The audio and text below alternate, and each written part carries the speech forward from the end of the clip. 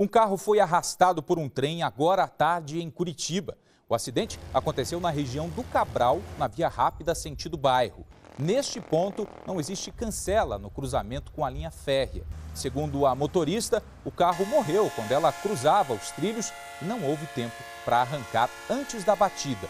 O veículo chegou a ser arrastado por uns 10 metros, mas a mulher não ficou ferida.